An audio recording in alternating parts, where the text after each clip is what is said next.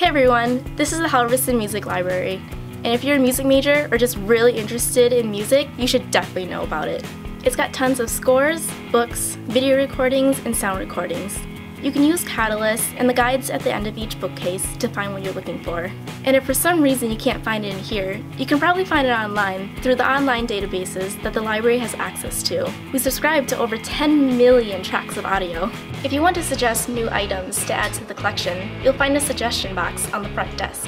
There's a lot of natural light for studying. You can check out headphones if you need to work on dictation or other listening. And there's a group study room with a flat screen TV, an electric keyboard, a sound system, and a computer.